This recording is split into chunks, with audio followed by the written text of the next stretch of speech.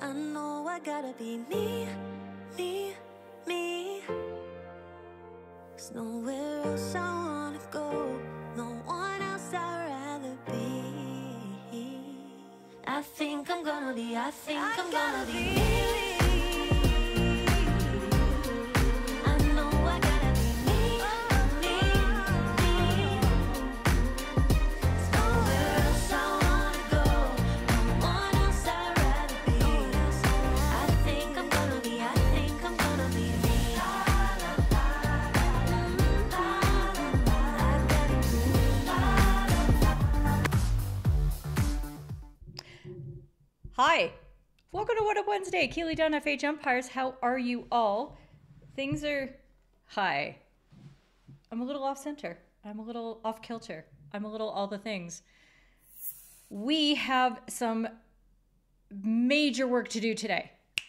It's a serious day. It the Men's World Cup in India, Bhubaneswar Ru- Rourkela, if I've said that correctly, I hope I have, has been going on for five days, which means I have about 30,000 clips. 30,000 clips I could be going through. But of course, I'm not going to be going through quite that many today. I think I've got about nine, and I'm going to try to, you know, I'm not promising a short show. I'm trying to just get through all of the things. And mm, my magic app is not working today. Oh, there it is. Let me just make sure it's going to work now. Let's see. Does that work? Does that work? Maybe not, but we'll figure it out because I need I oh, there it is. It did work. I need my magic app. See how I'm I'm in two places at once? This is really freaky. I need that so that I can count players. Cuz it's pretty hard. And we don't seem to do a very good job of it for some reason. Let's see. Is that going to show up? Yes. Ladies and gentlemen, we are in business.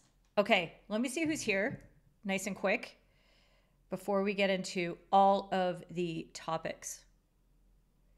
Because if I don't see all your names, I'm just going to assume I'm here alone. You know, just me, hanging out, chilling. Oh, here's the comments. I can barely see him. Mr. Milford 4D is here for the first time in so long. I'm so appreciative. I'm glad you're here. Scott Riley's here. Hi. And Luke is here. Hi, Jeanette. Good to see you. Rachel's got a rose.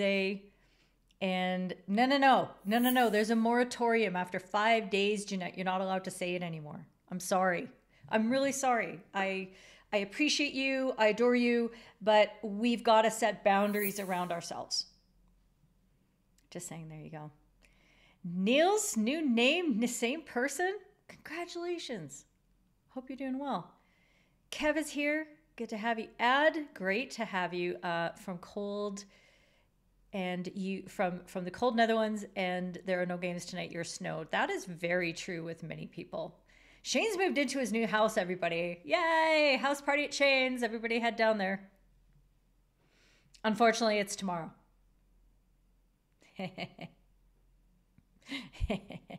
Joke.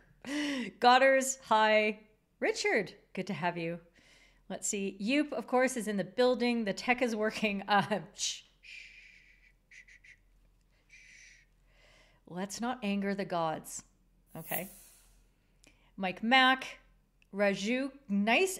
I, sir, I believe this might be the first time we've seen you. So, wait, my sound effects. Had to hit that three times. Sorry, Raju. It's good to have you. There we go. And greetings to you. There you go. Yeah, too late, right? You have to be careful. And Maxwell is here, the man who won the quiz. Kat was so mad at you, Maxwell. Like, I don't want to I don't want to start stuff, but she was pretty mad. Anyway, hopefully the volume is good. My mic arm is doing really funky things, so it's not super close to me as it should be. And every time I try to bring it closer, you see you see how it just moves? It just moves. Stop moving. Oh, I know what I'll do. Here, watch this. This is MacGyvering, friends. There, much better. Okay, topics. Hi. We're going to go through an interception of aerials, which means many of them. Is this off the end line intentionally or not? Finally, ladies and gentlemen, a center pass call. What happens when an attacker goes in the net and scores a goal? A double yellow card. Too many players. Y'all know what I'm talking about there. And a hockey PC, which is a PC not for penalty corner, but for podcast. We're going to talk about all those things. So let's just let's just get going. Let's get right into it. An interception of aerials. I've decided that this is what a plural is of an aerial. This is the first one that I wanted to bring to everyone's collective attention. This happened fairly early in the England Wales game. And if there is a poll to be had on this cat, feel free to slap one in that is about not necessarily the call. I mean, you can certainly, yeah, let's just do the call. That'll be fine. And yes, we are very, very busy.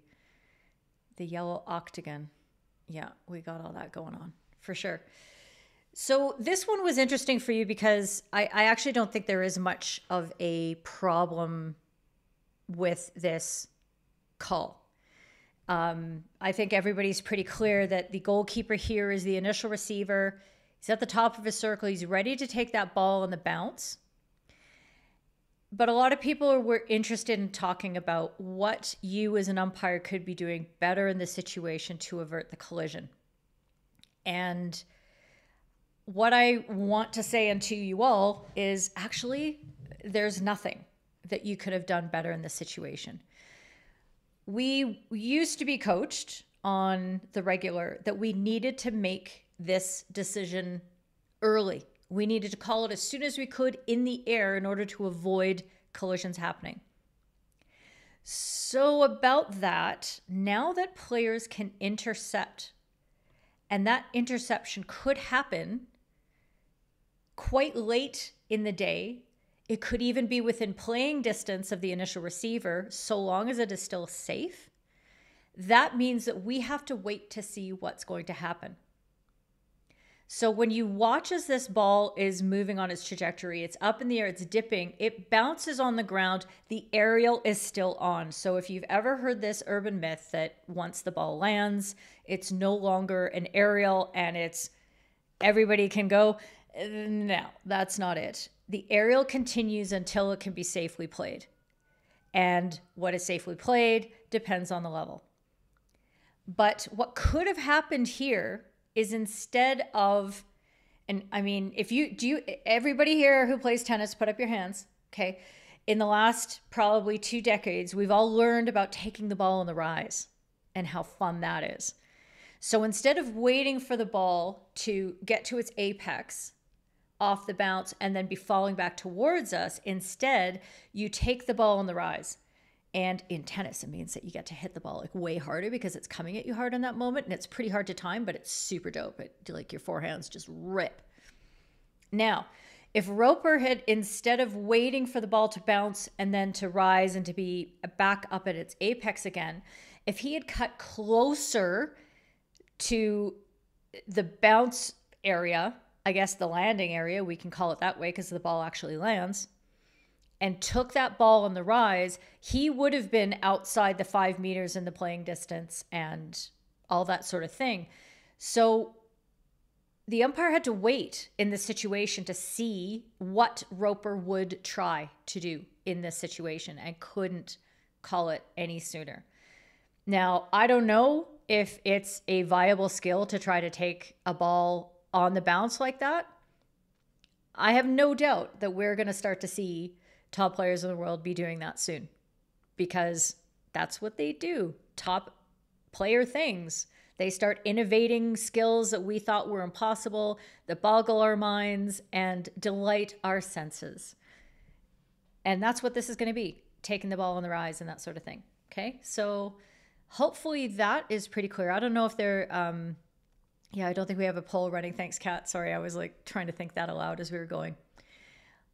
I'll go through your comments before we get to the next one. So, no way this is going to be a Keely, single Keely hour. I don't know, Jeanette. I have a few that I think I'm going to run through pretty fast. But yeah, and there's a little clamp on the attacker's stick. Like the Welsh keeper isn't just going to be like, sir, can I help you up? You know, come on. We're cool. And Raju, so I've been through all that thinking, and I hope I've illuminated for you the reasons why that just isn't possible anymore.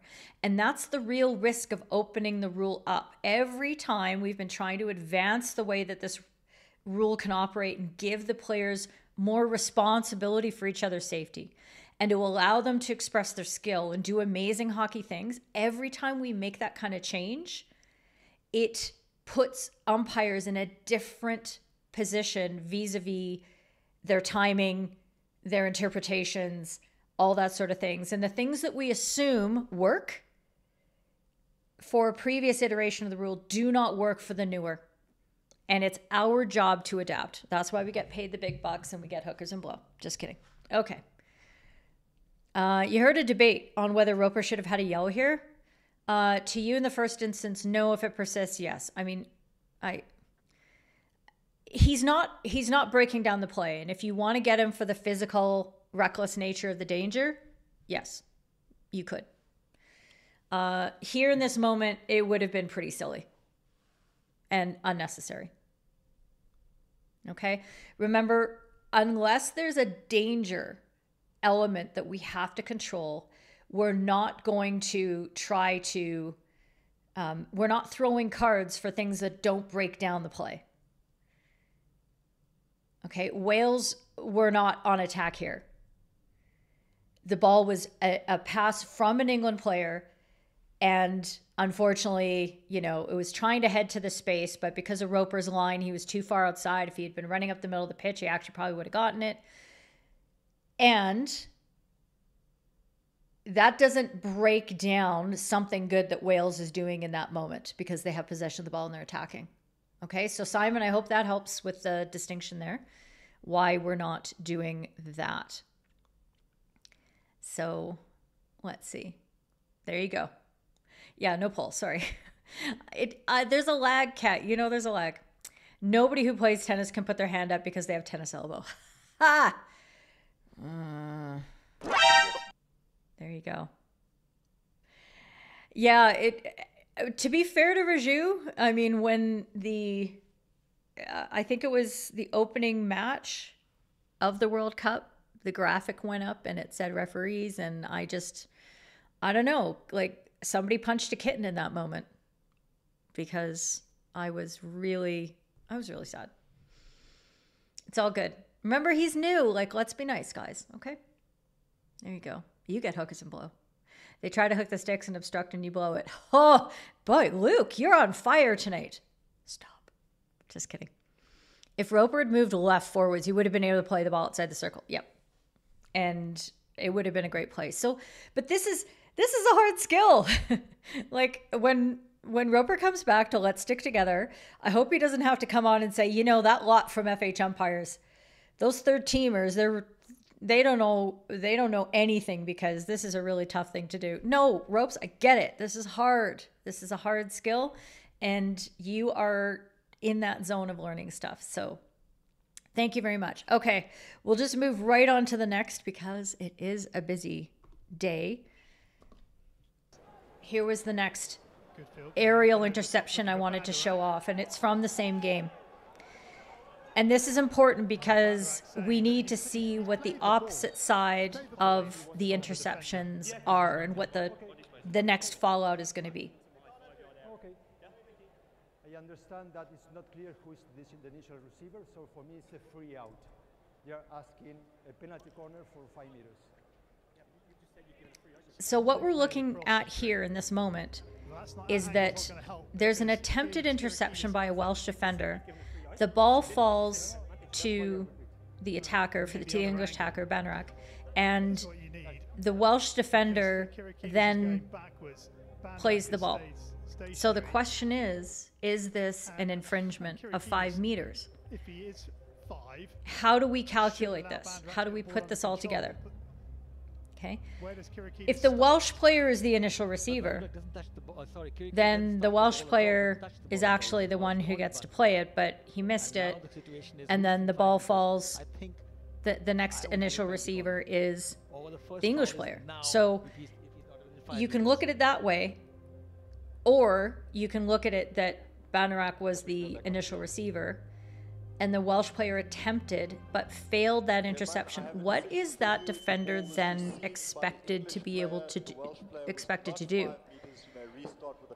It would be pretty harsh to ask them to disappear. Okay, we're definitely not asking them to disappear. However, once he's missed that ball, at this moment, he has a choice uh, to jump in and attempt to play the ball, or to step back and allow the initial receiver that he failed to intercept the five meters in order to control the ball. Okay, so this was a really, really interesting referral. I can absolutely see in the moment why Herman made the call that he did. It's it's one of those instinctive, like, you know, which way it goes, and you could potentially claim this is a mishandle of the the ball by Bandurak, and so you say, well, he mishandled it, so we're going to play on. However, at the moment that he mishandled the ball, he was being infringed on the five meters. The attempted interception was within five meters. However, it wasn't playing distance and it was safe. Okay, so we're going through all these steps. Ball's going up, initial receiver is is an attacker. Defender within five meters, but outside playing distance, and the attempted interception is safe. And note, I've been I've been really hammering on this point that the attempted interception is above his head and he's reaching up, so he's at the higher point of the trajectory. That's very safe. He doesn't reach a stick into the playing area that surrounds the face, the body of the initial receiver. That's why it's safe. The initial the the interception fails. The ball then goes to the initial receiver. Had that interceptor been outside five meters and the attacker plays it towards him on the mishandle, I'd be like, yeah, play on. He doesn't get an extra few meters in which to corral that ball. But he did need, the, but the, the defender who failed, because he was trapped within that five meters, because he failed that interception, he needed to leave that alone. Let me see what your comments are. Oh, roar. Yeah, maybe. There's lots of great receivers of aerials out there. Simon, you think it's worth saying Rappaport's been brilliant on video in the pitch so far? Um, well worth watching him in these tournaments. Yeah, he's been very good. He's especially good in the booth. He he reminds me of of Bruce Bale and he ha- he's I mean he's a lawyer. Hi. Lawyers tend to be really good at these things because we like rules, we remember them and we we've been trained how to step through and analyze and synthesize the information. So that's one of the things and he's he's very very good at that. And it's a PC PC for Godders. Hi Sebastian. Glad you're here. Uh, Welsh defender was at, at the absolute limit of being able to intercept. Yep. Full extension, did his best. PC for Stain as well. Has to be given time to bring the ball under control on the ground. I know that's what the rule says on the ground. But we see repeatedly at higher levels of play that players do not to have the ball they do not have to have the ball on the ground in order to be controlling it they can control very well by corralling the ball in midair and 3D skilling it off. So I'm not applying on the ground if that's what the player can do. If they're in full control there, I'm going to let somebody come in and tackle. End of story. So I don't use, I, I don't include that phraseology. It's archaic and it doesn't apply to how the game's being played these days. Elsa B is here. Excellent. And a penalty stroke. He's made up his own hashtag. Oh, you're so cute. And you're early. I wouldn't say that's, I, I think that's harsh to call that as an intentional or reckless as to knowing that you're going to break down the play because of how quickly it happens and that the intent to intercept was completely fair. So we're not penalizing him for trying to intercept the ball. We're penalizing him for failing to step back once he failed to intercept the ball. And that happened really, really fast. So that's pretty tough. In slow mo, it looks a lot more, it looks a lot more controlled than it was in the moment. So that would have been tough. Yeah. Simon, absolutely. Uh, Bandurak knocked the ball forwards, but still within the playing, his playing distance but within but the defender's playing distance as well. Had had the defender been uh Kyriakides, I think is his name, um, if he had been five meters away at that moment, if the attempted interception had been five meters away, Bandurak plays it, I'd expect like instantly because he doesn't have control, but he was never given the five first. The, the, the five had to be given first. Okay. Hi, Tristan. Good to have you. Yoop play on for you, but you understand the point of a PC if you're calling that you can live with it. I'm glad you can live with it because I don't want this to be the hill you die on. Alistair, can you argue the attempted interception is legal? However, the attacker is the initial receiver, and then you play by the rules PC. Uh, that's exactly what I just argued. So, yes, you can.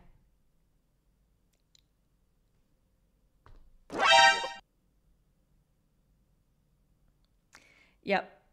Gut feel there Rachel. Excellent. Kev, PC not given time to bring the ball into control. Yep, there you go. Okay. We will. You know what you can do, Sebastian, is you can take the scroller, you can take the the um, the play bar at the bottom, and you can pull it all the way forwards. Put me on two times speed or 1.5 if you think I talk too fast, and then you can catch up to the live broadcast. I know how to do these things. Eloise, the interception was safe. Attacker receives the ball uh, when the ball is almost on the ground, takes it cleanly, play on. No, no, because the five meters wasn't given. So, good try. Okay, last one of the interception of aerials. It's an interception of it. It's a cluster. And they quickly take it, and here's a chance for Govers. Yes. Scores! Blake Govers. with it. He hits the ball very, very hard. When he gets the chance in the circle, he smacked it perfect. Look at the pace with which he hits this. He has time, and the goalkeeper So first, I I just like to address that it's definitely a five minute yellow for the uh, the stash and the mullet. Okay. Uh, now that we've gotten that out of the way, just a, a few things that I want to cover off on this because I didn't. Um, the first time I saw it, there was a lot of a lot of things that you want to take into account. So if you're in this position and you're seeing a play uh, develop like this, the first thing that you're making sure, and this is why you're going to be proactive when you're out there, is that you're going to make sure that that five meters is initially given. Okay, you have to register that register that in your mind. Don't just be a passive sort of recipient of this uh, of this incident.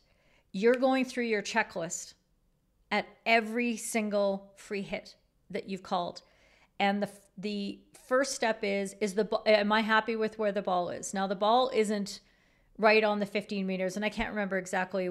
It could have been that a free hit was given and it wasn't a 15 meter restart for the ball being played over the end line. So that could very well be valid. But once that once you're happy with that ball placement, that's step number one. Step number two is where am I going to be happy with the players uh, on the opposition being five meters away? Where is the five meters? And if you look, let's see if I can freeze this at a good opportune moment. It's not going to be easy, but friends, I'm not here for the easy stuff. I'm here to to I'm here for the challenge. Okay? This works out pretty well.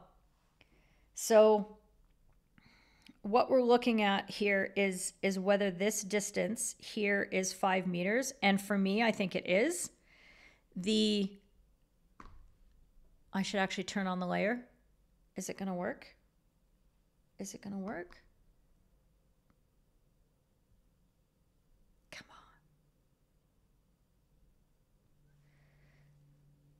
on. Okay, so the five meters there, it's off at an angle. So even though Govers is in front of the 23, the ball is starting. Oops, let's just clear all this off. The ball is starting behind the dotted line here. Okay, so on the offset, and given that we have camera angles and all that kind of stuff, I'm happy that this is five meters away. It's it's not really easy for us to tell entirely, but that's fine. And then what happens is it's a misplay of the aerial and it strikes Govers in the body. Okay, so it's not like he takes that ball cleanly on the inter- intercept with his stick. He actually plays it with. Come on now. I can't even get my. Um, can we get this playing again, but I will in a second. Don't you worry. Don't you worry. There it is. So when that ball is played dangerously at the defender. He's five meters away. And if you hit or you present danger with that aerial on the way up, that is going to be the defender ball. And then because it's hit him in the body, you can't simply just play. A free hit needs to be taken by you know the player that's been struck with the ball. So the next question I looked at was was the ball sufficiently stopped for that time in that context in order for it to continue to play. And my conclusion was yes. And it's not super easy to see with the angles that we have, but when you watch the replays, the ball falls pretty darn dead off his body. And there's no question that the self pass is taken right from that moment. There's no question that the only player who is involved in that is the Argentinian who tried to lift the aerial in the first place. He he is well within five meters. He cannot play the ball. He is not disadvantaged. So when you apply the criterion, as I went through very laboriously during the Commonwealth Games and that infamous England Australia semifinal goal, this is absolutely a legally taken free hit in my view. So that's where I sort of worked through it there. Um, let's see. You're at the theater, William. You fancy. This this was a great William. You fancy. This this was a great game. This this was very exciting and one of the one of the more intriguing games uh, so far for sure. If Yellow started five meters from the ball, then you're fine. If not, then that was the first foul. That's correct, Rachel. So Um, Mark Cummings and you had a similar one to the Bandurak aerial on Sunday. Yeah, you agreed the opponent coach chose that as the one incident to take with issue with after the game, and that's okay, right? So like reframe it for yourself, Simon. That this is a really great opportunity for you to go through a scenario that you haven't had to go through prior to the rule change at the beginning of this year. So people don't know how this is going to going to work. And you get to explain it to them and you get to show them and say oh yeah absolutely i can see what your concerns are but here let me explain how this works. And this is what you know these are the interpretations we're applying blah blah blah. So yeah this actually is the correct result. I hope that helps you going forward because we're going to see lots of these. And maybe it does maybe it doesn't yeah luke thinks it's five from a top view um, might have been a better idea for the defender to get the PC by tackling Govers within the five meters. Um, yeah, yeah, maybe. If he had done that, he would have been sitting with at least a five minute yellow, if not a 10, because of the time of the game. So this was the the play that tied the game up for Australia. Uh, Argentina had surprised everybody by even be, being okay. I was probably the only one who was super surprised that they were even within touching distance, but to be leading the number one ranked team in the world by a mile from them. You say there's only two minutes left. So, yeah, this would have been, it would have been Dan's easiest uh, yellow card ever in the history of the world. And giving up the PC there might have been a good idea, except Hayward has been bombing it in this tournament. So, yeah, hard to say.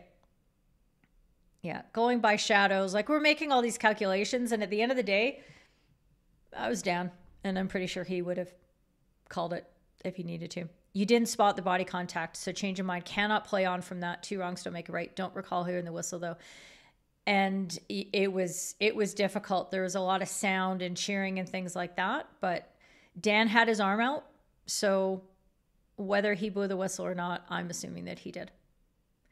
Not clear in the initial video that he was hit on his body from the top down. It looks like the perfect time for a quick free hit attack, removing the aerial taker from the defense. Well, well explained, Luke. That's exactly right. So remember, we're looking at this from what will we do when this happens to us? And this does happen to us. We have a lot of players who attempt aerials and don't do so safely and can't get the ball up and over. And so we have to go back. So so there you go. Kev, you would have plowed him down. I would have too. Absolutely. I would have. If I could get close enough. Oh, that's not a risk of a yellow card. That is a guarantee of a yellow card. An absolute guarantee for the high impact on the game. Plus, there had been many cards. Plus, this was in the last almost two minutes of the game. So there you go. Okay, great stuff, gang. Those were the aerials that I particularly wanted to illuminate for you. There were, um, there's been a ton. Hey, it's the World Cup. There's a lot of aerials and a lot of discussions in the playing and coaching ranks about about it. If you see one that uh, on a uh, in a match when you're watching highlight reel on the socials, do get in touch with me, Keely Dunn of FH Umpires. Um, DMs are okay right now because I know people are really excited and sometimes they're referring to things that they're seeing on socials. But the best way to get a hold of me and the entire community, because I don't just do this alone, I do this with all of you, is to come onto the FH Umpires Discord server, fhumpires.com forward slash. I'm not elocuting very well today. Mm-mm-mm dot com forward slash ds that is uh, where you will find all of the conversations and i can get into more detail with people. So i've been trying to people have been dming me with questions especially when they're not about the world cup right now but they're about maybe something about indoor and i'm like hey I'd love to answer you, but I don't have time to do this, just a one on one conversation. We need to get the whole community involved. Please come into the survey because sometimes your question is something that we have some really, really great, smart folks in there, and they can help you even faster than I can. And then I'll pop in with my little maple leaf emoji and be like, that's perfect. Thank you very much for your assistance. And we can move on. So I would really appreciate it. There you go. Jack Jack thinks there's a pretty loud whistle in there and there you go. So, yes, and that's another way you can get into it if you write Discord out. I've got like about 4 pretty URLs that will direct to the Discord, so that's all fine. And the defender stopping makes you feel like there's a whistle. And that's, again, that's the advantage of using that whistle instead of just playing the advantage. There's no ambiguity there, and it and it it has an impact on what the defenders do. So don't be shy. There you go. Um, 37 watching and 12 likes. Thanks for the statistical update, Shane. What are we going to do about that? Yes, we are. I can see there's a couple thumbs coming in. So please do jump in there and give us a like if this is giving you value. And get in the comments, get in everything. Okay, was this ball off the end line intentional or not? This is the last England clip, I promise. Okay, Captain America, as the guys from the hockey PC are, have called him. I'm sure not for the first time. I'm sure Steve's heard that one before. Uh, England would like to uh, know if it's a um, deliberate hit over the back line, please. Oh, 2.16 left. Did he receive the ball? Did he have any opportunity to try and play the ball out? along So I'll let you just take a gander at this. none? Maybe, Kat, this can be our first poll. Was this a PC or was this a 23 meter restart as was called? He's, he's reaching outside his left, isn't he? It was a penalty corner. So in this scenario here, the ball is played inwards to the circle. He's running in. There's no pressure. There's only himself. So I don't know. Well, that is it. If oh, he, Oh, back he to- has the opportunity to put a stick on it and get it clear, oh, I mean, that, It'll be really I harsh. think I'd feel pretty harsh if I Yeah, was very given harsh. against me. Steve.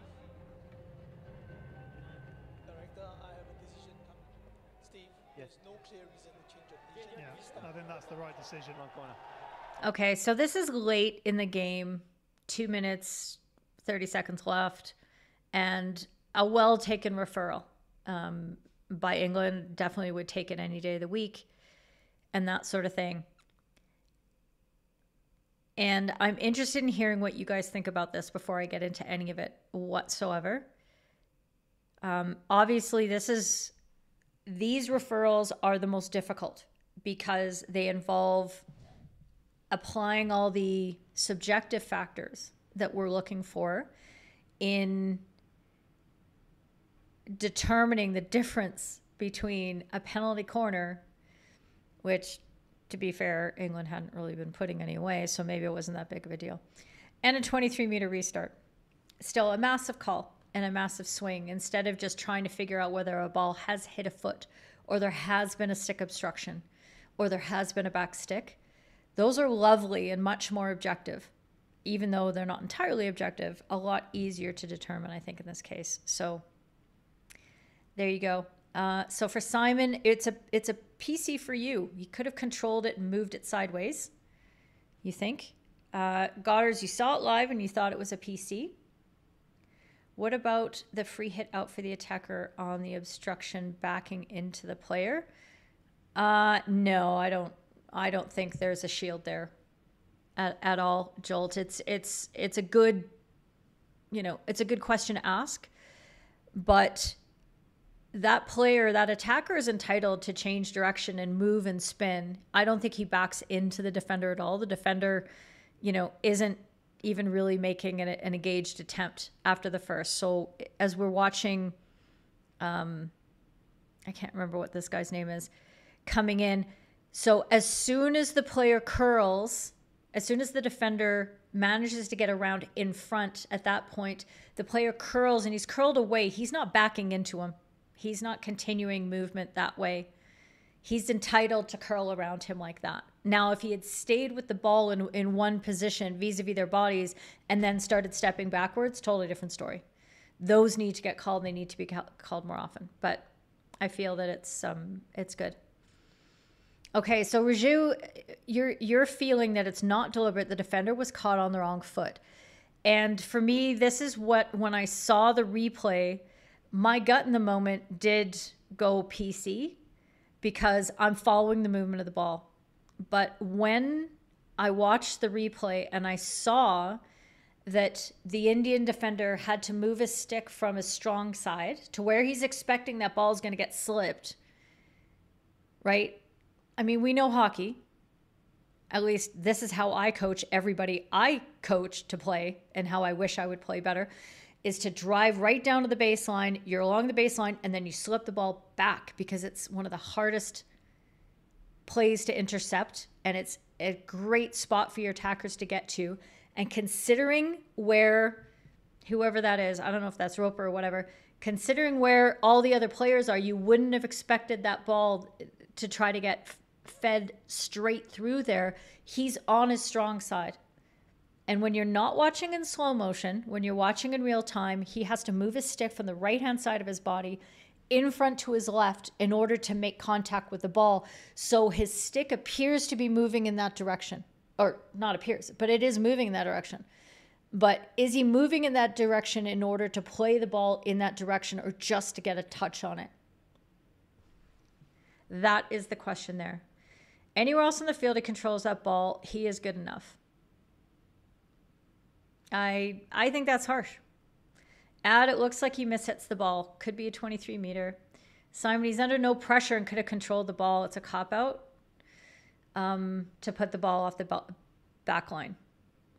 Now, the first part of that sentence is good rationale. The second part of that sentence is throwaway garbage. So we're not even going to, you know, like that is just circular logic. And I really want to push you guys on your critical thinking and presentation skills because this will help you explain to players much more effectively when you're on the pitch in your own decision making. It's really important to be able to talk through these things concisely, accurately, and in a way that is actually meaningful. So the first part of that is to say he's under no pressure. Well, he's not marking a player under uh, under those circumstances. So that is one of the factors that I lean the other way to towards this being intentional. So that is a good spot. Tristan, there might also be some England bias going on as well. Yeah. Uh, from many, potentially. Uh, Mike Farmer, it's a PC for you. Left elbow straightens out, face straightens face, after which he then rotates the face to the byline. B- bit blurry though, to be sure. And that's the biggest problem, I think, with this footage and what we're watching is that we, the camera is moving right at the moment when the defender uh, makes contact with that ball. And it, it's, it's, a, it's a lot tougher to see. I think if we had a really sharp picture, I'd feel a lot more comfortable in in in feeling as though we'd go against it. So we're looking at things like, you know, where was Uh, you know, what was the movement of his stick? And whether that if he turns the, the face of his stick so that the ball is definitely going off that end line or if he's moving his stick across his body very quickly in order just to get in front of it does he make full contact? Does he sort of edge the ball off the stick? We can't see those things from this footage. We can't. Don't even try to tell me because it's not true and the fact that he's stationary you know is he and but he's not under a lot of pressure. That goes and, and pressure being like an actual another player like right next to him trying to reach over to him. Kev uh, he has room and time along with the skill level to put the ball in some other direction. And that's that's the you know does he have time? Isn't this late in the match? You can't say there's no pressure that's another point on the other side of it, Joel. And and just knowing knowing where it is in this match to say that a defender who is standing in front of their goalkeeper doesn't know if there's somebody right behind him. Like he doesn't know that there isn't a player that is about to grab that ball if he misplays it in any way, shape, or form. That's a little harsh. And being a defender, I'm looking at this going, yeah, I, I would feel a lot of pressure in this situation. So maybe feeling pressure isn't the right way to look at it. Maybe those those aren't the right terms for us. Okay. Um, ben, your thoughts aren't biased for England. I know. I didn't I didn't accuse you of that. I was talking about the English people here. Um, and Captain America was absolutely well positioned. Absolutely. And a comment that I made uh, this was uh, Steve's second game of the tournament, and I thought he was outstanding. He was my he was my pick for umpire of the day. Um, he had a very good first game, and I was uh, I was pleasantly impressed. Uh, he definitely stepping it up a level that I haven't seen from him, and then really followed it up in this game. Him and did he have Marson on the other side? I think he did. Yeah, Marson was on the other side. Also had a fantastic game. So this was a really good game to watch from an umpiring perspective. So, and yes, and Goddard's this this is sort of the ultimate wrap up on this is that it's a difficult call to overturn on the field because w- when you see this in slow motion, you completely change your mind, don't you? Like you just at a slower pace, you think, "Oh, look at that motion." You know all that kind of stuff. It look it looks like he's moving in that direction. Our perception is absolutely manipulated by the solar speed. So let's keep that in mind. Okay two minute warning. Let me see what the poll results are. Oh that sounded a little loud. I hope that's not blowing eardrums out. Let's see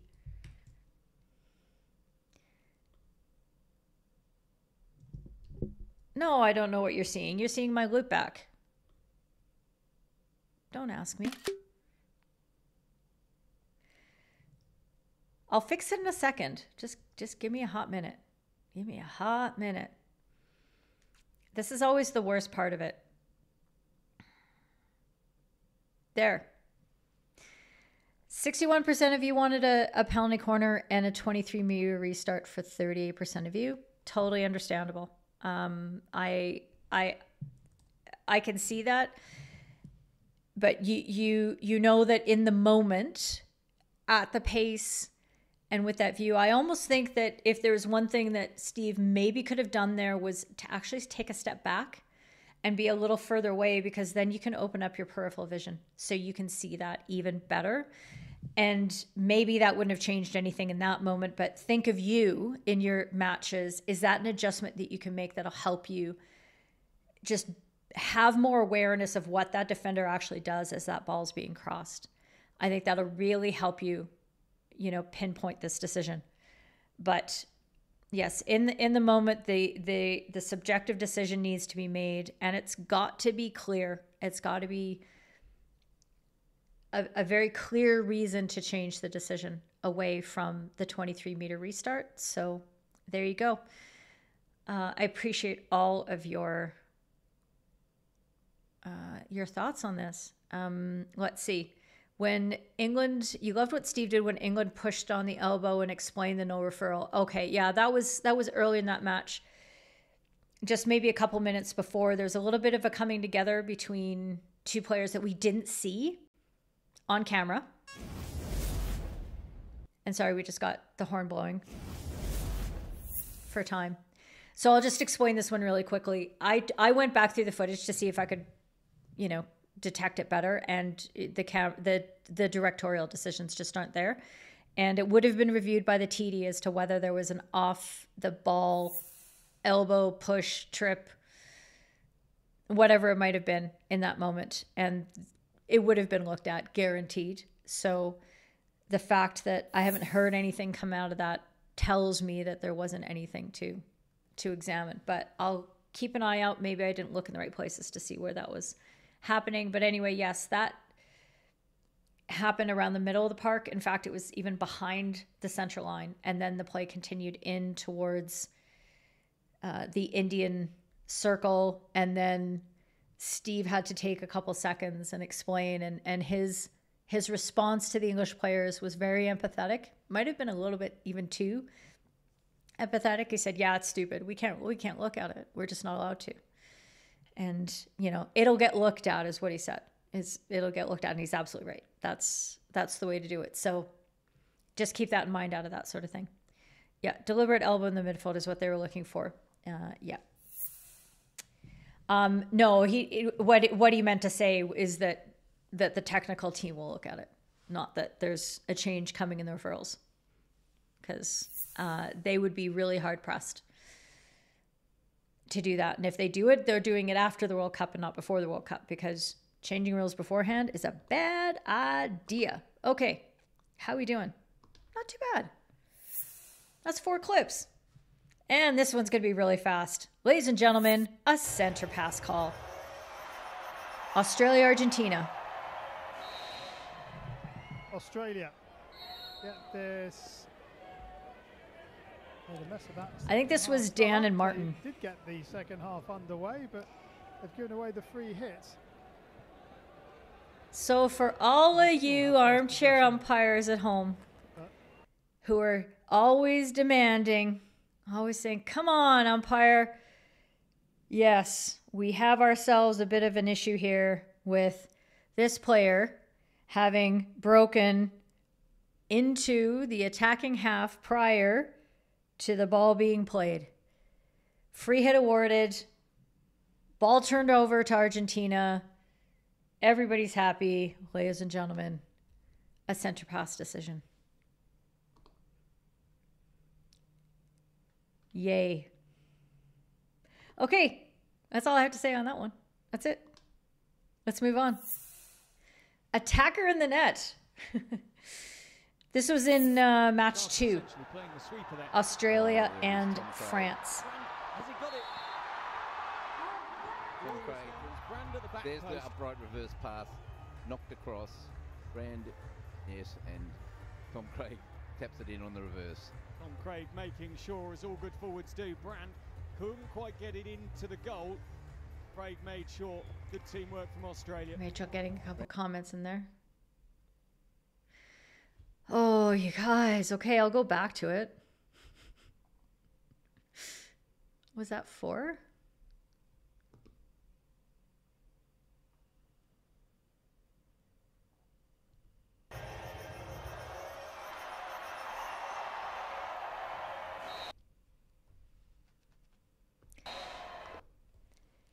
Okay, so Tristan, legitimate question. Has it affected play? Not at this moment. But you know what they're about to do? Australia. He's jetted off down into the other end. The play is that this player here is going to bomb big over top and hit that player in the circle. It's a set piece. They're trying to do that. He's trying to get a head start. It was going to lead to something. So I can understand why it was called in that moment because once the ball has gone down into that end, it's too late. Ladies and gentlemen, that's why the decision was made. Playing the sweep. Okay, Oh, there it is, Tom Craig. Has he got it? Tom Craig. yes, Ben There's Burton. the upright reverse path, knocked across. Brand, yes, and Tom Craig taps it in on the reverse. Craig making sure, as all good forwards do. Brand couldn't quite get it into the goal. So let me know your thoughts on this. Poll can be teamwork from Australia. is this a goal or a free hit defense for the attacker being inside the net? Because, let's see if I can. Can I do this? I seem to be struggling with my controls here. I wanted to be able to show you the actual rules, but I cannot. Charter essentially playing the sweeper there. Oh, there it is, Tom Let's go to the replay screen here. But the rule is that a player cannot enter the net, his opponent's net.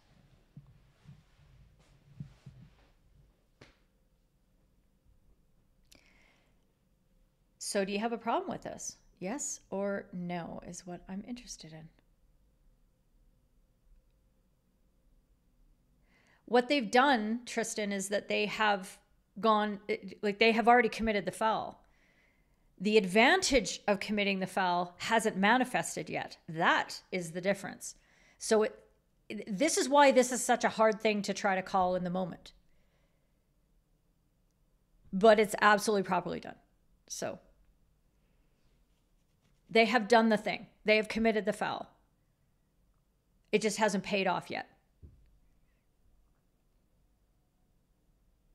Okay, so on this one, you you feel like it should only be called if it disadvantages the defense, which it didn't for you. So goal. It's 914. Thank you, Rachel.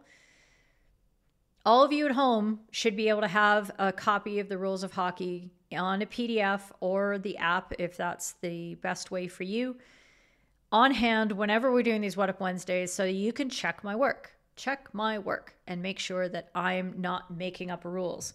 Check your own understanding. You're saying, well, I know there's a rule against the attacker going into the net. Is there? Make sure. Check the wording, read the rule. So, Niels, this is the distinction, okay? The disadvantage is not that a decision was made in their favor. The disadvantage is they couldn't do something because of the foul occurring. They couldn't play the ball. They couldn't um, they couldn't make a tackle. They couldn't complete the pass. They couldn't do something else. Not that an award was given. That is not what advantage is. Okay. And a lot of people get that confused. A decision made is not the advantage. Because otherwise, every time somebody could say, well, if you don't call that foot in the middle of nothing, they get the advantage of it not being a foul called against him. It's circular logic. Okay. Is it intentional? It's, yeah, it's not intentional. That's for sure, Stain. Um, Joel, the attacker was standing in a legal place and played the ball into the goal. Free hit defense for you. Yeah, it's not even that Yoop. It's it's a it's a it's a very it's a very uh yeah, it's it's like the philosophy of logic, but definitely not. Okay. So for me on this play, hopefully everybody's voted. This is a goal. Because absolutely nothing changes. There is no de- defender who can't intercept that ball, who can't mark that player, who can't play the ball because of where the Australian player is. The rule against being inside the net, what's the purpose of it? What's the principle we're applying? Is that if they're inside the goal, they are creating a problem for the goalkeeper. They are distracting them. They are potentially in their way. They're obstructing them from behind. None of that's happening here. The goalkeeper is well out of position. They're they're baked and caked. They're done. So absolutely nothing turns on this. I don't love when we have to make these kind of decisions on let me blow the two minute warning because I don't think there's too much to talk about on this. So I'm not a big fan of us having to make these kind of decisions on such big moments like goals. And sorry, don't just just focus. This is the last one. I'm going to get this poll up. These poll results up. As soon as it pops into my folder. There we go. Which is which? I have to call the I have to close the PC one there. Does that work? There we go. Okay.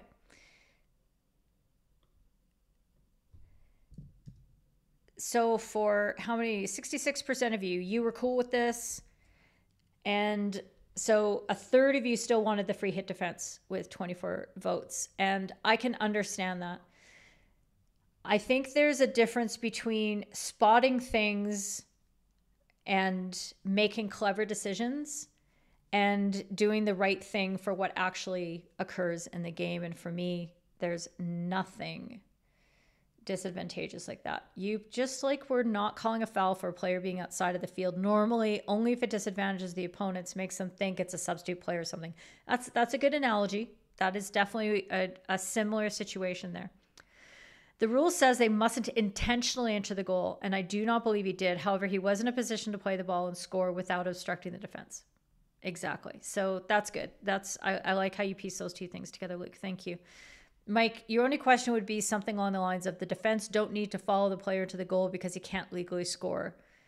like offside. Yes. And again, I don't think a defender was in that kind of position. So that's another ground, another factor that you might look at. So thanks for pointing that one out. I like that a lot. Thank you. And that's time. That's time.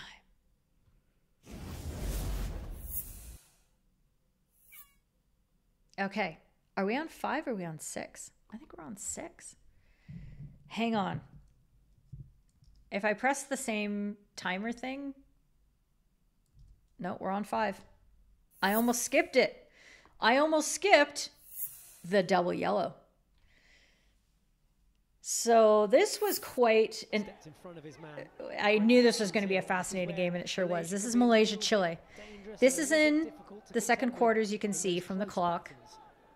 Earlier on, Now whistle's gone here. What's the umpire seeing? He's sending someone off. let me get my big head out of the way. Off the ball challenge. So hopefully you're not listening to anything that's being said by the commentator because he's got no clue what's happening. Suspension. This is a double green card for some misconduct in front of her man there. And he does this one. Okay, that's him indicating two green cards for each player on the team. We're now winding down the third quarter, and we're in Ben Gunchen's end. Converts in possession stats as well that you can see at the bottom of your screen. Malaysia with 54%. We're off the ball, nothing's happening around the ball, and he stops time.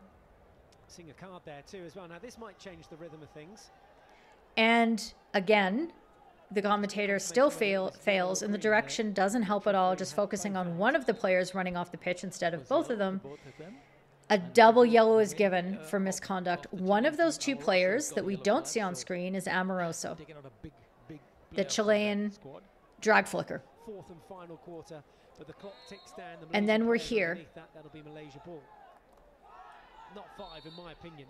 Umpires believe that to be true as well, and a green card for breaking down the play. I was just going to say, actually, is you know, I've got And the there goes Amoroso again. and They're playing 11 versus 10, and Herman initially and gave a green card again, and, and then 10 versus 10 realized that it needed to be a yellow, and that card was given for the five meter infringement on the aerial. So what you had Of his man. was the same player here. This is where in this can be a match receiving two dangerous and a yellow cards in the game. those Close battles. So,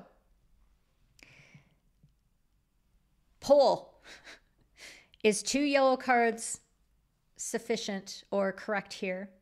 Or did the player need to receive a red card? And I don't care if you call it a technical red, okay? Keep in mind, England, that that is your terminology. It doesn't apply in South Africa, it doesn't apply in Canada, it doesn't apply anywhere else in the world. It's the term that you guys use under your regulations for conduct that is deserving of a yellow card, but because an earlier yellow card has been given, the red card is awarded. Okay, that's your term. So I can translate, but we got to know that that's where it is. Okay. Let me know what you think. Reju, two different offenses, question mark. And that's what's at the heart of this for me. I don't know. I, I'm a little concerned at the fact that the first option for that particular play, I don't think there had been a five meter infringement that needed an intervention earlier in this game or that should have been given. But we are in Q4.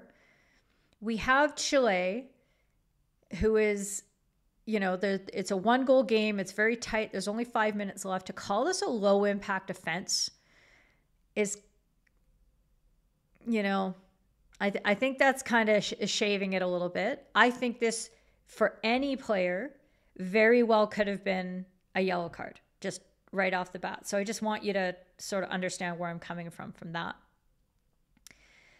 Could the second yellow have been a yellow card 10 minute? It was quite a different offense. It was a 10 minute yellow card. Okay, so once once he came back, he did that and then he did what is in some places accepted as the signal for 10 minute. I prefer this. I don't prefer putting your hand up in the air with your fist.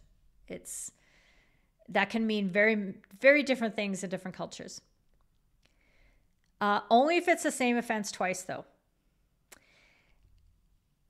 So, if you go back to any of the probably six times I've discussed this concept on What Up Wednesdays, is that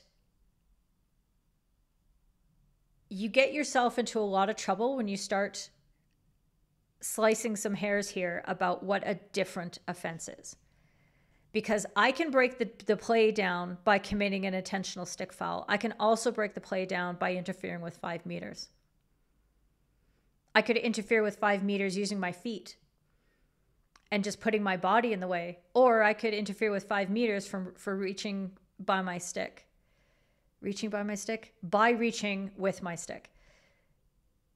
Are those different offenses? To me, if you are breaking down play in any of those ways, if you are time wasting, if you are using your stick, if you are using your body, if you are interfering with five meters, all of those things are breakdowns. And a player who has already been penalized with a yellow card for that broad category of offenses should not be returning to the pitch. This is irregardless of any regulations that you may have in your area about mandatory bans. I don't care. Okay? That's your own problem. That's administrator problem. But does that player have the right to come back onto the pitch and continue playing after they have cheated so much twice in a game? To me, no. This is one of those very small exceptions. Very, very limited exception because what you had was a misconduct off the ball and we didn't even see what happened. The two players could have been yelling at each other and just calling each other names. We don't know what happened here. Okay. We, we, we don't have eyes on the situation. They may have been pushing and shoving each other, that sort of thing. That is not conduct that impacts on the play in the moment. It doesn't disadvantage one opposition or another. The two players are being jackasses and they get tossed. End of story. The next thing that Amoroso does is he breaks down the play with a five meter. That is two, for me, significantly different enough offenses. It's so rare, but this is the one time you can do it. One of the few times you can do it. But I'm telling you, if you're giving two yellow cards for breaking down play to the same player and not giving them the red, you are not doing your job. And you're not giving it because you're afraid of giving red cards. Now, I talk all the time about blatant breakdowns of plays that everybody else calls just demands for red cards for and I call absolute bullshit on it cuz it's it doesn't fulfill our criterion for red cards. But when a player has already taken a yellow where are they in the game? Where is their headspace? What are they doing? What are their intentions towards the game? Are they going to come back on and just do something again? Yes they are.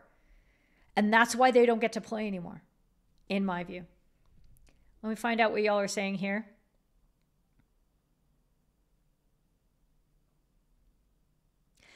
So, Mike, the the the the umpiring team would have gotten together and not just just before the tournament, but they would have been meeting for the last 6 months. Going through briefing material, coming to agreements and consensus on what they're about to do in these situations. And this may well have been a topic of conversation. I don't know, I wasn't there, but it's something that I cover in my briefings when I'm briefing towards tournaments. So I would certainly think so. Mike, you think it should be a red card, but functionally in that match, it was the same thing as he looks like he gives a 10 minute yell. Yeah, it is. It is. But this is about the principle, right? Because I don't want you to think all of you in all of these other jurisdictions that because it was given as a 10 minute yellow here, that you're going to do that when it happens in the second quarter of your match in your local comp. Please don't. Okay. Um, let's see. Your your opinion is going to be biased on whatever the KNHB wants, which you think differs from the international way. Yes, because you might have different regulations that somehow change the way that the rules of hockey should be applied. Yeah, and it was. Um, let's see. The rules say you can't show the same color card to the uh, to the player twice, but you don't like it. I like it. I like it because it means that you don't have discretion in this, and too many of you aren't grab aren't seeing this moment and, say, and feeling that this player shouldn't play anymore. Feeling that's what you should be thinking. This player is not entitled to come back into this game. End of story. KNHB wants the red card here, just like with the player not being allowed to get two greens. Two greens is a yellow card, and a second yellow is a first, showing the yellow card and then a red card, which the English call a technical red. Absolutely. Scott, you've only given two yellow cards to the same player in the past, but one was for breaking up play and the other was dissent being rude to officials, a form of misconduct. So that that is where I think you have the chance. When you when you start thinking about it, the same argument, it's Mm, I don't know. Did you unintentionally spark this week's rant? I don't think anybody. Oh, no, that's true. Everybody tries to trigger me into a rant. You're right. Uh, no problem. Scott, we definitely wouldn't give a green card for violence if there's only one minute left in the game. It has to be red. Yeah, another another good analogy. Like, let's not think that just you know just because it has the same functional effect with that 10 minute yellow that that means that you shouldn't be giving a red card for it. There you go. I yeah, I I sure hope that I'm funny enough to be an online comedy gig. I'm kind of insulted that Ian's going to something that he deems to be funnier than this. I'm just kidding. Red card for David. Because he's on board with the program. Here's our two minute warning. And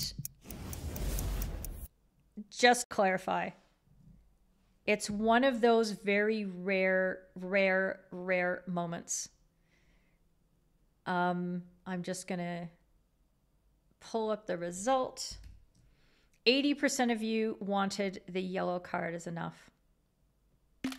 And I want you to think about this. I want you to think very long and hard about this moment because I I don't like it. I don't like it. Where's the Sorry, I'm trying to find the result now. There it is.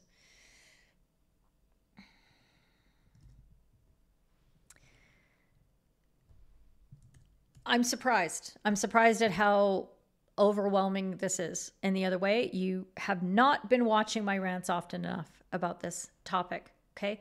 Mishy Meister gave, um, oh no, sorry. Oh, can I just.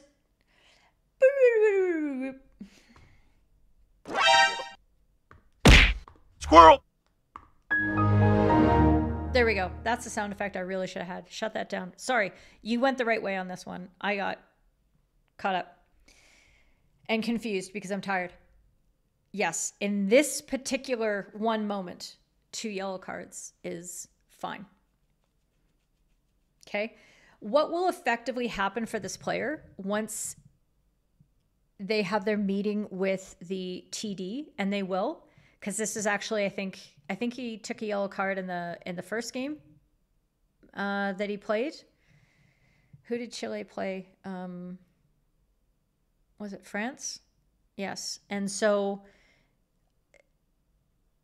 there will undoubtedly be a meeting, and the player is going to need to explain just how he's not going to be doing anything like that again.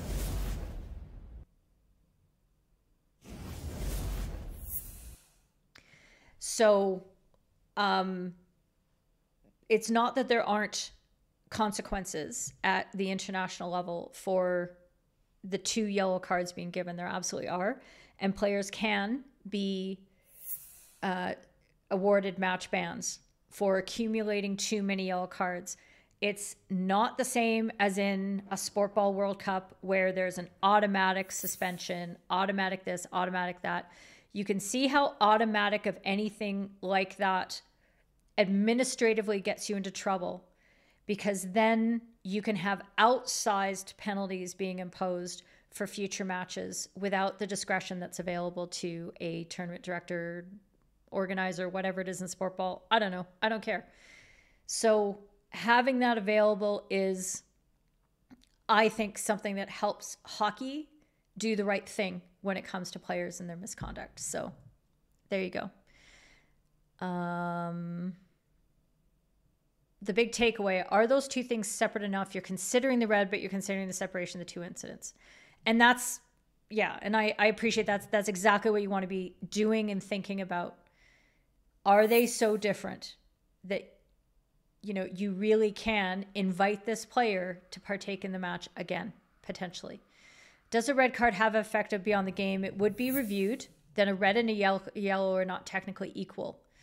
Um, and and yeah, that's that's another point. But I've seen red cards uh, given at international level and no match ban being imposed afterwards.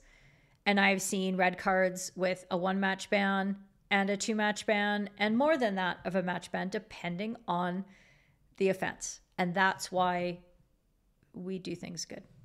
Okay. You're happy enough. And Jeanette has only given a tech red. I've given, what have I said in the past? I don't remember. Four? Three, three, four. I've only given one, two, three straight reds. So there you go. Okay. Where are we at now? How we doing? Oh, yes. The social media scandal of the day. Too many players on the pitch. Let's have it. Defender. Had it landed over the defender, then yes, the advantage was for the attacker, but that was within his reach. So rightly so by umpire. We are at the last two minutes. Exactly spot on two minutes left in the game. Between Korea and Japan. And Japan pulls their goalkeeper. Well, we saw New Zealand and Greg Nicol yesterday. I'm pausing this because I want you to watch. I went back to the video. I didn't see it at the time. Okay? I did not see it at the time. Which way should I go? I didn't see it at the time. Many people did not.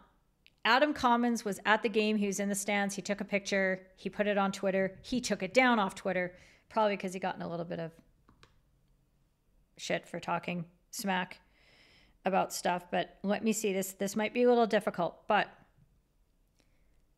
okay.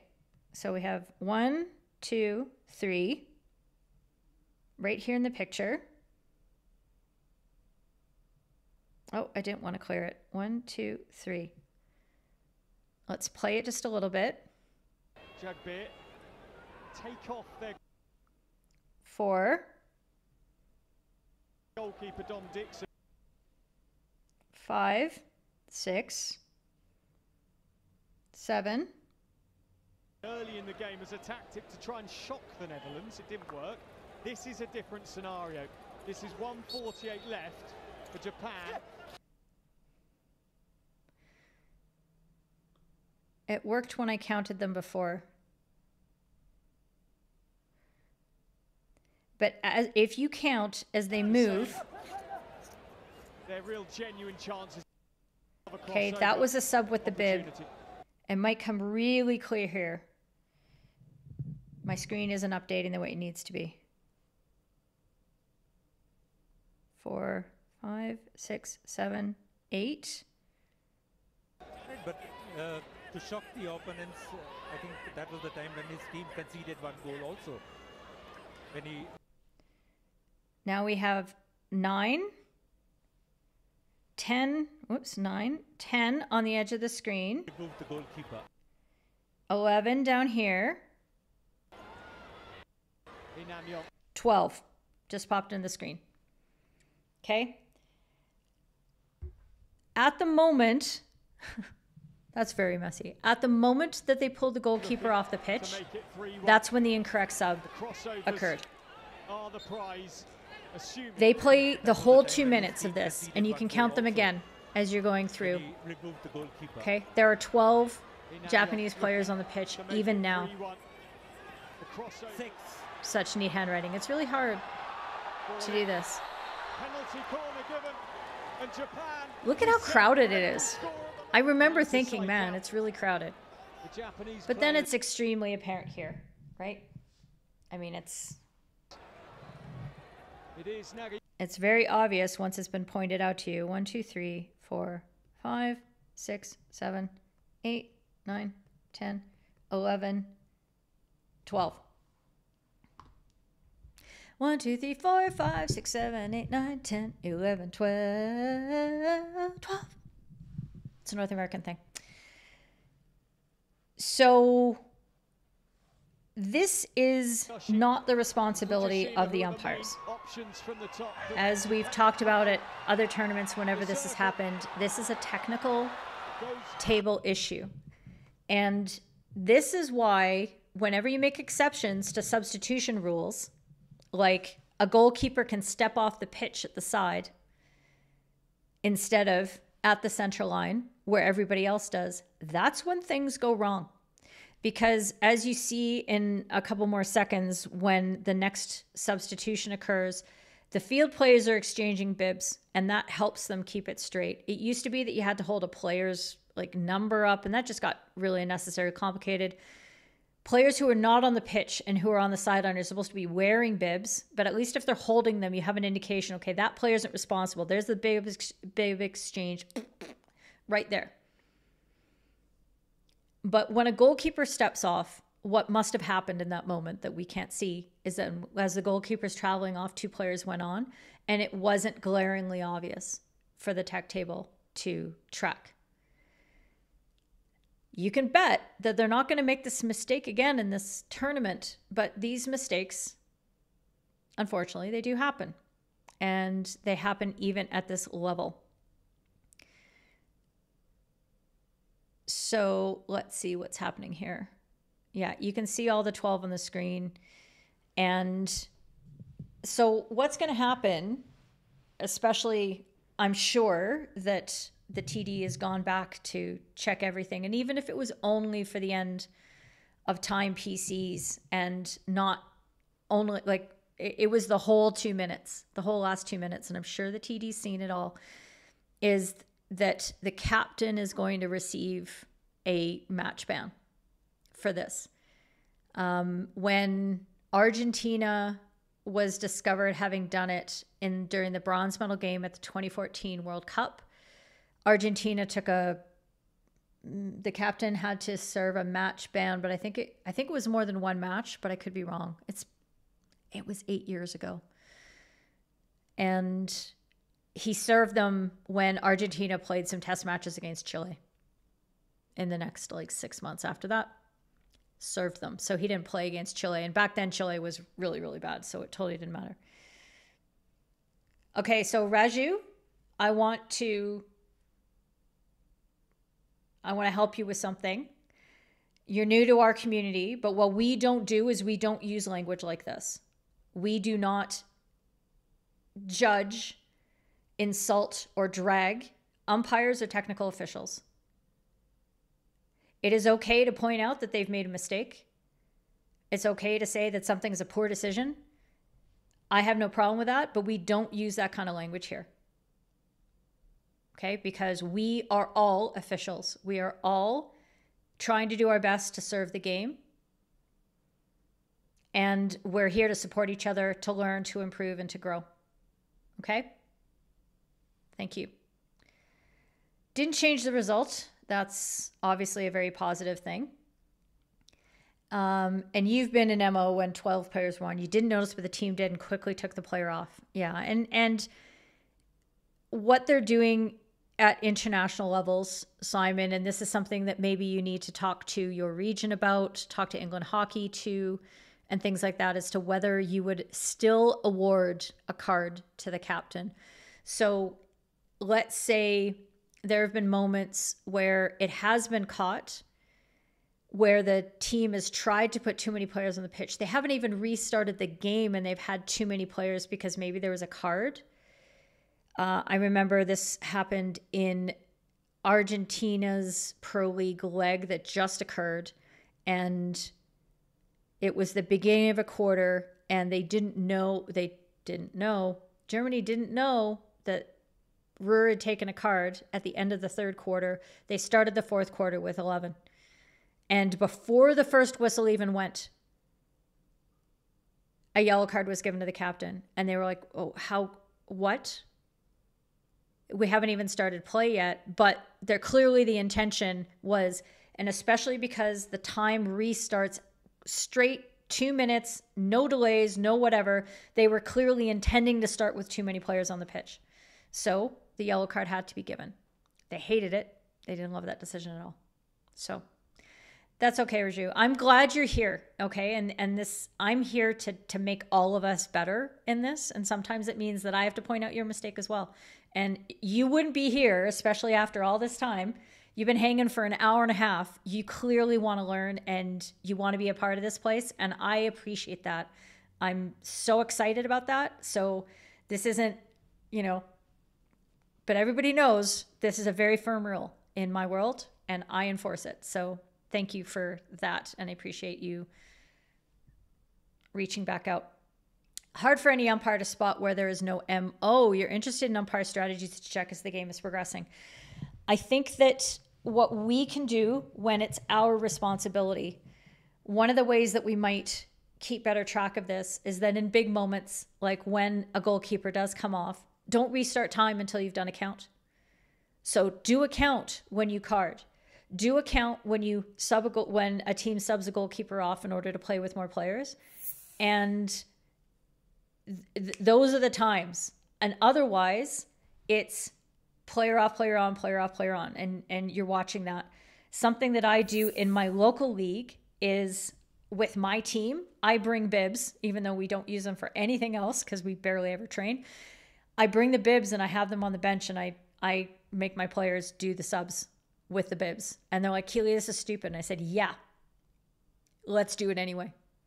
Because I believe in doing little things like that that make umpires' jobs easier and make my job as a manager, coach easier and just adds that layer of professionalism. So that's how I do it. Uh, we all make, make mistakes. Uh, wouldn't be too harsh on the TDs here, as Toby said in the podcast they the teams have to have responsibility. It's up to you know it's for everyone to own and learn from. Yeah. And it's it's it's i mean i haven't been a technical official very much. I've stepped in a few times and and done it. And it's one of those things that you think this is the easiest in the world. This is the easiest shit in the world. Like who can't do this you're a pencil pusher you're whatever and we ha- we all think this as umpires to never make a mistake on your stopwatch, on the scoreboard, on recording players and their names and whether there's a goal and etc. Making sure that the substitutions are done correctly, never making a single mistake is way harder than it sounds. We know that we go out there as umpires and we make all kinds of mistakes. And we're like, yep, that's how it goes.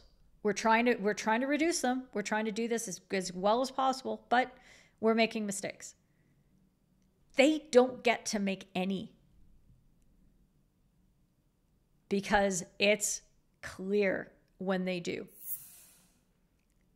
The only thing I can say about this is I'm really glad it didn't happen a game that involved India because we know what happens, right? Indian Twitter gets really, really mad. And Raju, yes, we have a term around here called Indian Twitter because had this happened during an India match, there would have been uproar. This has happened in a match that didn't involve India and their fans. So, yeah, we're all talking about it and blah, blah, blah, but there's no calls for anybody's heads. So keep that in mind. The way that we discuss these issues needs to be level headed it needs to be constructive and it needs to be with a view of trying to eliminate it from happening again. That's it. That's all we can do. Uh, Keely, this is stupid. Wait, wait till I get a yellow. Yeah, wait till my ca- captain takes a, a card for having too many players on the pitch. Uh, counting the subs is quicker than checking numbers on the pitch, except if a sub has gone off for a bathroom break, if a sub has ducked around, um, if you a sub is ducked around the dugout because they're dealing with a shoe or equipment issue or something like that. So it's a little harder than you think. What if somebody's gone to the hospital with an injury? What if, what if, what if? As an MO, you missed recording a goal. There was much discussion after a goal and a yellow card was issued. While dealing with the yellow card, you missed that they'd actually awarded a goal. Seems easy, but it's a lot harder in that moment because you know that you are the last resort. You know you are it. And Luke, yes, you are spending a lot of time on the TD bench. And the TD, TO can be managing a number of things at one time timing cards, calming managers, watching subs going on and off. There is a lot to do. There is. So let's just keep that in mind. I just wish that they didn't either. Okay. Um, last note that I'd like to. Oh, and so I covered off what the consequences would be for the team, and yes, the captain will will be serving a ban. I'm undoubtedly, I am sure of. Uh, I'll go find it somewhere. It'll be buried somewhere on the FIH site where nobody can find it. I hate that. So makes me so angry. But the last thing I wanted to draw your attention to is a hockey PC. It is not anything about a penalty corner, but this is a podcast that the good people at De Belgique, what is it called? De, De Belgique Pod? Simon, I know you know what the, the full title is. Um, so Floris Geerts and Toby Walter and a couple other guys whose names I've now forgotten are doing a daily podcast from the World Cup. It's very good. It's very good. I would suggest all of you to uh, take it in. If you go to at the hockey the hockey PC with the underscores in there, the underscore hockey underscore PC on Instagram, you can click through their links or you can look up the podcast in your favorite podcast player. You can find it on Spotify, but I don't use Spotify, I use Overcast, and that's where it is. So, um, Floris tagged me on the Chris Rühr kiss, and if you hadn't seen the Chris Rühr kiss, please, Christopher Rühr kiss, please go and and have a look. It was one of the topics I could have talked about today, but I ran out of time. Germany and Belgium game. It was it was quite the set too. It was quite the thing. And uh, Rühr um, did a very Rühr thing and took a yellow card for pushing a Belgian player over. I don't think the Belgian player was as injured as maybe they were trying to make him out to be at the moment, but it was just very clear. It was just a, you know, unnecessary physical play breaking down at that moment of the game and a really stupid thing to do. And then, of course, because there's so much, you could, the mics were picking up everything that was coming from the Belgian bench and they were really upset. And they were trying to get even more out of it than I think perhaps they deserved. And Rühr being Rühr, he's sitting there on the suspension chair and he goes, mm, you know, you'll see it on the Instagram. And some people love that. They think it's fun. It's fun for hockey. It's hilarious. It's sassy. It's whatever. And it's Rühr being Rühr. I, I mean, I sure hope, I sure hope that he, you know, doesn't miss any other goals because he sure missed a few opportunities in that game. And if he keeps letting his team down, I don't know. That kind of stuff that that comes back to haunt you. It really does. But the other thing that they're doing is they, they do spend some time in the podcast talking about umpiring decisions. They seem to be really struggling with the aerial interception rules. And I'm I've offered up my services if they want to talk to me about any particular thing. They also often talk about the number of video referrals. And this was a question that came as well. Um, I should have had it out here and I, I didn't. I might be able to bring it really quickly onto the pit, onto the screen here. This came through on Twitter from Ian, uh, longtime follower of FH umpires. Thank you very much, Ian, always. And he was asking about the broad theme of too many referrals in the Hockey World Cup. And the one thing that the guys at the Hockey PC didn't uh, don't seem to quite understand is that umpires do not take self referrals for penalty corner decisions. They can only take them for penalty strokes and goals. And there have been zero instances of umpires in this World Cup or any time else taking a self referral for a penalty corner decision. End of story, zero stop. If you can't, if you don't understand how referrals work and where they're coming from, ask me. But they, I swear, there has been none. And I've watched every minute of every game that's happened so far in this World Cup. When the umpire does this motion, or if you're Kuhn, you do this with your fist, that's a T sign. And that indicates team. Doesn't mean timeout, it says team. That means it's a team referral. When an umpire does this, that's a self referral. Me, I'm taking it self. Okay. Very, very basic stuff here. There have been no self referrals for penalty corner decisions. And the match that a lot of people were talking about was the England Wales match that we took a few things. And Herman was really under it. He took a, he got referred and overturned a lot. A lot of decisions were just really difficult that he wasn't in, you know, because of where the players were, wasn't an angle to see things in all fairness to him. So not taking that, but working through aerial interceptions, talking about the number of referrals and things like that. One thing they're doing is Toby is nominating an umpire of the day. So the umpire he thinks has had the best performance, I think is really cute. So this, I think, is the list. So on day one, he picked Jakub. Day two, Raps.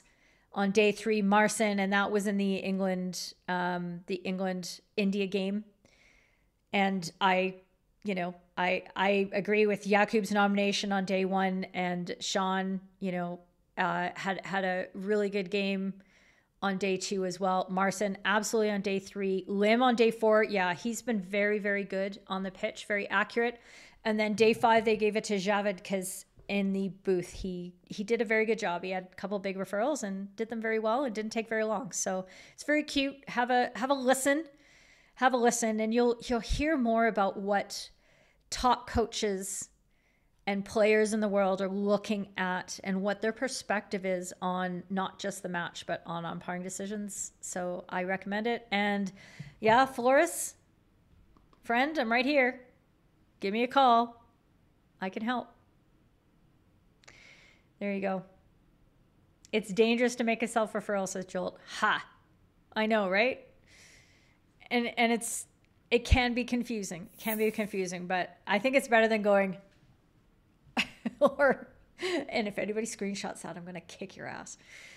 Or something like this. Like there's there's not a lot of gestures out there that we can use for a self referral that are gonna look good. Uh, thank you, Scott, for that. Let's see, Luke. Your opinion is you we have one of the better referral systems in sports, and I agree. Okay, and Dan made a very good self referral on a goal award. Yes, Steve did another one on a penalty stroke. Very good. I think the, you know, it's difficult when you have a number of referrals in a game because it means that an umpire isn't getting stuff right. And I hate to see that, but it's a fact of life. It's it's the way it goes. And um the the the times that a self referral should be taken have have almost always been taken. The only time we had a question was in the Australia Argentina game, and I didn't clip it because I didn't have time. But there was a clear foot uh, close to the goal line by an Argentinian player, and the players were asking for a referral, but Martin had already called a free hit for the defense before, and a lot of people didn't see it. I didn't see it at first until I realized watching the replay that Martin had two arms up and he was he was doing and this is where you can't You can't use two arms because it gets confusing. But he was showing with his right arm that thing that happened over there, that stick obstruction before the ball hit the foot is a free hit out. That's the way I saw it. I could be wrong, but that's that's what I perceived there. And so that was the only time that I thought maybe a self referral could have helped. Uh, no, Niels, don't don't do that. Don't do that. And let's see. Okay, I think that's most of the stuff that we had. It was your first time today. I'm glad. I'm glad you learned a lot. And please feel free to pop into our Discord server and you'll find more friends in there. And uh, I would love to have more uh, hockey friends from all over the place. There's way too many England people. I'm not English. I don't need to have all these England people in there. I love you all still, but can we can we spice it up? Can we get some diversity going? It'd be it'd be fun. So pop into the server and, and have a chat with us because we'd love your perspective. And Stain, yes, all right. See, this is this is where knowing people helps. And I've D- I've DM Floris too, so we'll see what happens. Thank you for popping in, everybody. I really appreciate all of your time. And we're only 12 minutes over. That's pretty good for five days of a Hockey World Cup. We're obviously going to have two more shows wrapping up all the Hockey World Cup action uh, over the next two weeks. But there you go. it's typical. and um, yes, here's the names of all the other people. Uh, it's met uh, Toby Walter, uh, the ex Dutch or the ex German player, uh, Karen von from uh, Gantoise or Kevin from Gantoise, Pascal Kina, Antoine Kina's father. I think it's a joke. I don't know for sure, but it sounds like it's a joke. And Floris Geerts. Geerts. There you go. And the Britishness intensifies. Stop it. I love you all. I really do. Okay. Thanks for coming by. Enjoy the rest of your hockey week. See you in the server. Lots of watch parties to come. Keep being awesome out there.